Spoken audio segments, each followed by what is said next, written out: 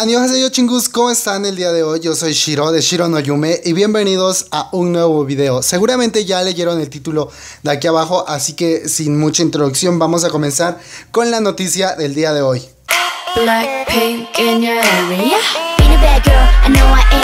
No cabe duda de que en la actualidad la popularidad de los grupos de K-pop se mide en gran parte gracias a la cantidad de reproducciones que logran en sus videos musicales luego de sus nuevos lanzamientos.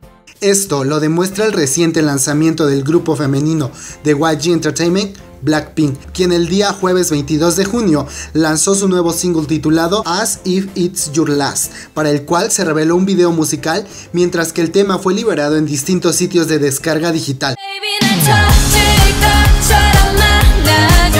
Hablando solamente sobre el video musical, se reportó que Blackpink logró superar el récord de reproducciones que el grupo masculino BTS había impuesto con su último lanzamiento Not Today pues Blackpink logró conseguir la impresionante cantidad de 13 millones de reproducciones a solo 24 horas de su lanzamiento. Además de esto, Blackpink, a 17 horas de haber revelado su video musical, ya había logrado superar los 10 millones de vistas, lo que lo convierte en el grupo de K-pop en llegar en menor tiempo a esta cifra. A BTS le había costado 21 horas en que su video musical Not Today llegara a 10 millones de reproducciones. El día 24 de junio se informó que el nuevo video musical de Blackpink había conseguido más de 20 millones de vistas en solo 47 horas, lo que lo convierte en el primer grupo de K-pop en llegar a esta cifra en menor tiempo superando con esto nuevamente el récord que el grupo BTS había conseguido con su video Not Today. Con esto, Blackpink se convierte en el grupo de K-pop más popular en la actualidad. Esto puede cambiar repentinamente con el lanzamiento de algún nuevo video de algún grupo de gran alcance. Por otro lado, Blackpink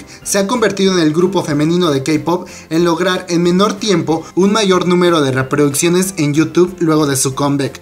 Anteriormente, este puesto lo tenía el grupo femenino de J-Pay Entertainment, Twice.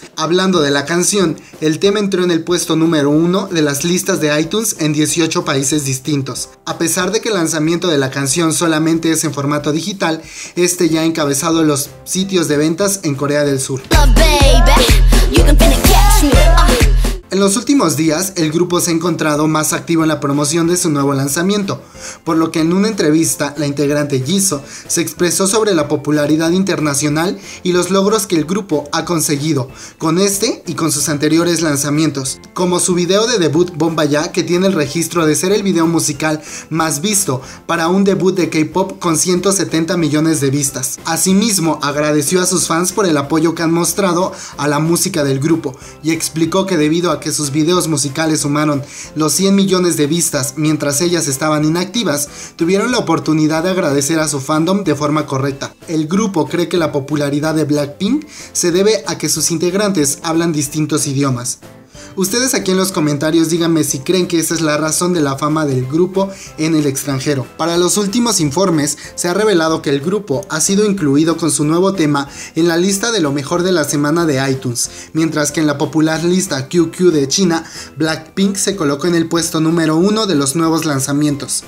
QQ es una lista de música de China que posee más de 400 millones de usuarios y Blackpink es el único grupo coreano en el top. Y pues bueno chingus, hasta aquí el video del día de hoy, espero y les haya gustado. Este es un poco de la información que ha surgido a raíz del nuevo lanzamiento de Blackpink que ha sido la bomba. Aquí abajo en los comentarios díganme ustedes qué opinan acerca del nuevo lanzamiento de Blackpink. Aquí en la parte superior derecha del video les va a aparecer una pequeña encuesta y ustedes van a poder decir si les gustó o no les gustó el nuevo lanzamiento de este grupo.